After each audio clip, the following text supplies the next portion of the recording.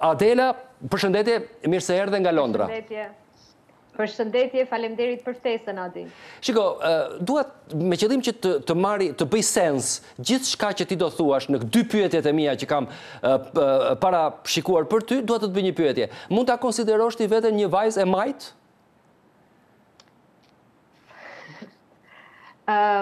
Nuk do kishte kuptim në sensin e inkuadrimit tim në skenën politike shqiptare, sepse nuk ekziston një e majtë shqiptare aktualisht. Kështu okay. që nëse unë jam e majtë apo jo, okay. nuk nuk të ndihmon ty me pyetjen tënde. Doja doja doja ta ta kontekstualizoja praninë tënde në studio Adela. Ti je një zë i fortë, siç kam mësuar tronditja, shkatërrimi i teatrit të ka bërë të diskutosh fort me miq e shokë në Tiranë dhe mund të mund të thuhet që ekziston tanimë një zënkë e madhe online. Njerëzit me protë dhe kundrat e tyre po bëjnë një zhurmë, një shungullimë të tmerrshme me reagimet pro dhe kundër. Po ndërkohë, ti je një studiuese. Dhe në këtë mes do kuptohet, për teatrin dhe çdo gjë tjetër, për Shqipërinë, për demokracinë, për diktaturën, për gjithçka tjetër, është do në fund fare do do kuptohet se cila nga narrativat do të mbi, mbizotërojë. Narrativa kryeministrore dhe kryetarit bashkisë dhe e propagandës dhe e trolleve dhe e, e grupimeve që paguhen për të sulmuar e gënjyer, e për të krijuar imazhe pa dyshim, apo praktikisht ata që mundohen të hedhin pak dritë, qoftë edhe duke gabuar, le të themi, në mënyrë fare të natyrshme, shpeshherë dhe të dënueshme, në përcaktimet e tyre për ngjarjen. Pra, kryeministri dhe kryetari i bashkisë dhe disa lieutenants të tyre kanë dalë në programet më të rëndësishme shqiptare për të dhënë versionin e tyre. Këto teza, si të janë dukur ty si studiuese? Faleminderit Adi për për pyetjen, për një specifikim. Unë jam studiuese e historisë së mendimit politik. ë dhe ë nuk po vij sot këtu aq shumë si historiane sesa ë si dikush që reflekton mbi zhvillimet e vendit saj si shumë njerëz të tjerë me të cilët ti bisedon rregullisht. ë Më fole për debatin e zjarrtë që po zhvillohet këto ditë rreth ngjarjes së shembjes së Teatrit Kombëtar. Ajo që unë kuptoj nga gjithë ky debat, tek i cili jam përfshirë edhe vetë, siç e siç e thatë edhe ju, është që në fakt nuk paska patur një konsensus publik aq të madh mbi mbi këtë akt. Dhe ti më pyete nëse unë mendoj nëse do të fitojë narrativa e qeverisë edhe e bashkisë aktualisht, apo ajo e skeptikëve dhe kritikëve të saj. Unë mora vendimin sot për, për të folur edhe këtu tek ju për këtë çështje, si pjesë e një përpjekje për të thënë që ata që fituan rrënojat e teatrit kombëtar, të mos fitojnë edhe lavdinë, e këtij e këtij akti. Dhe e konceptoj veten si pjesë të kësaj përpjekje për të sqaruar disa nga keqkuptimet diku të qëllimshme, diku të paqëllimshme që po krijohen në opinionin publik rreth kësaj çështje. Dhe mendoj mënyra më e mirë për ta bërë është për të reflektuar pikërisht mbi tezat, siç i quajte ti, të qeverisë edhe të bashkisë. Dhe çfarë të ka bërë ty përshtypje, si me thënë? Teza e parë, po, po, unë do ndaloj në dy tre teza, si me thënë, do mundohem të jem sa më drejtpërdrejt edhe koncize. Teza e parë që më ka bërë përshtypje, është ajo e fakteve dhe e ligjshmërisë së aktit. Pra vazhdimisht si kryetari i bashkisë, si kryeministri, si zëvendëskryetari i bashkisë dhe pjesëtarë të tjerë të pushtetit vendor dhe qendror, i mëshojnë shumë kësaj teze për të thënë që faktet janë me ta dhe janë kundra protestuesve dhe se ky ka qenë një proces i bazuar në ligj në të gjitha etapat e veta. I kemi dëgjuar sidomos këto dy ditët e fundit shumë fort këtë këtë narrativë. Unë do ndaloj në, në disa momente dhe për të mos ezauruar opinionin publik me një histori shumë të gjatë që nga 1950-a, po le ta nisim nga 2018-a ku aktet prej të cilës na kanë sjellë edhe këtu ku jemi sot. Në 2018-ën qeveria shpalli se kishte marrë një ofertë të pakërkuar, që është një nga procedurat që njihet në ligjin e prokurimeve publike, kishte marrë një ofertë të pa të pakërkuar nga Fusha SHPK. Dhe, pra, një projekt për ndërtimin e një teatri të ri kombëtar te trualli i atij aktualit, shoqëruar me disa kulla të larta për aktivitet komercial mbrapa teatrit. Dhe për këtë propozim të pakërkuar nga ky entitet privat u kalua edhe një ligj që faktikisht ishte ligji për për Fushën, pati shumë kontestime për këtë ligj, u rishkruajt ligji, u bënë disa amendime, dhe versioni i dytë që doli, hapte të paktën formalisht mundësinë për një konkurs për, për këtë çështje të, të teatrit të ri. Presidenti i Republikës e kontestoi edhe këtë ligj të dytë në Gjykatën Kushtetuese, dhe me sa, me sa jam e informuar unë, dhe kjo pjesë nuk më është sqaruar nga përfaqësuesit e pushtetit vendor edhe qendror. Me sa jam në dijeni unë, Gjykata Kushtetuese ka kërkuar informacione nga palët e përfshira në këtë kontestim dhe nuk dimë më shumë se çfarë ka çfarë ka ndodhur me këtë proces, por si të thuash, me sa kuptohet deri tani në opinionin publik, ky është një proces i hapur, nuk është një proces i ezauruar. Adela, kemi Adela, do të do të dua të shtoj një gjë shumë shkurt. Jo, duke qenë se Do ta shtosh, do ta shtosh patjetër vetëm se ki parasysh një gjë po. që në transmetime të kësaj natyre, për hir të të vërtetës, teknikalitetet dhe në përgjithësi një lloj panorame kemi një span të të shkurtër të durimit publik në raport me ngjarje të cilat janë ashtu si janë. Kështu që vlerësimet e tua do t'i kisha dëgjuar jashtëzakonisht me shumë vëmendje on point, domethënë në në në preciz. E saktë Adi dhe të kuptoj, thjesht duhet të tregojmë pak durim sepse mbi këto teknikalitete po ndërton argumentin e legjitimitetit edhe qeveria edhe bashkia.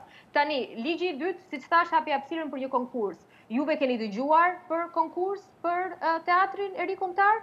Unë nuk jam e informuar për zhvillimin e një konkursi, do duhet të kishim mësuar se cilat ishin studiot arkitekturore që kanë kanë konkurruar, cilat ishin projektidetë e tyre e të tjera me radhë. Ky fakt, ky fakt, Është pranuar tashmë edhe nga përfaqësuesit e qeverisë vendore dhe dhe qendrore, sepse flitet tashmë për konkurs për detajimin e projekt-idesë ekzistuese. Pra është pranuar që ajo ide që doli me Fusha SHPK-në, ai do jetë tani teatri i ri. Nuk ka patur as debat, as as konkurse, për projekt-ide të tjera, ndoshta nuk është ajo e duhura për për teatrin e ri. Kalojmë nga kjo. Në shkurt dy mijë e njëzetës, U tha që nuk do bëhet më me Fushën SHPK, do bëhet me investim publik. Në tetë maj kaloi në pronë të bashkisë, trembëdhjetë maj u bë ekspertiza e bashkisë, katërmbëdhjetë maj ndodhi një mbledhje e këshillit bashkiak, për të cilën ne edhe sot nuk jemi të të informuar, më fal. Kryetari i bashkisë tha mbrëmë, se zgjedhja, se mbledhja është zhvilluar online, dhe për këtë arsye ishte implikimi, nuk ka patur shumë informacion për të dhe nuk ka qenë publike. Tani mua kjo më bën habi për një pushtet që e mendon veten kaq novator në fushën e teknologjisë, të mos ketë mundësi të bëjë publike një zgjedhje të një mbledhje të Këshillit Bashkiak që është zhvilluar online. Mbledhja duhet të kishte qenë transparente, sepse kështu e kërkon edhe ligji për pushtetin vendor. Pra një shkelje tjetër dhe një fakt tjetër që nuk përkon me narrativën e bashkisë edhe të qeverisë. Për të mos folur pastaj për ato që janë thënë për mosrespektimin e afateve të publikimit dhe të zbatimit të ligjit të vendimit sipas ligjit të pushtetit vendor. E fundit që dua të them mbi këtë pikë të fakteve dhe të ligjshmërisë, Dua të reflektoj pak mbi logjikën dhe rendin e ngjarjeve.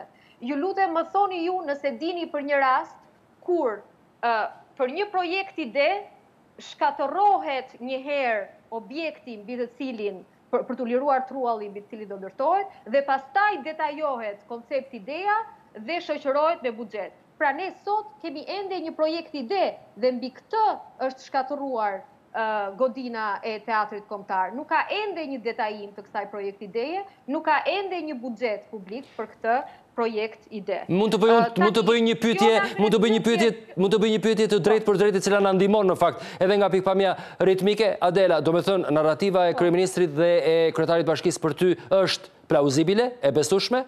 Po jo? Jo, unë po them që nuk është, nuk është, sepse, natyrisht, po. nuk shpjegohet nguti për ta shkatërruar në 4 të mëngjesit në kohë pandemie, pa një projekt të detajuar dhe të buxhetuar, teatrin kombëtar. Stop! Pra do kishte do të kalojmë... një rend tjetër e kuptova ti kishe një ti kishe një element shkurt të të studimit tënd mbi narrativën që ia vlen ta dëgjojë publiku i cili në shtëpi ndahet në dy pjesë një pjesë që e kupton dhe e pranon një pjesë që nuk e kupton dhe nuk e pranon? Në qoftë se jo... Hm?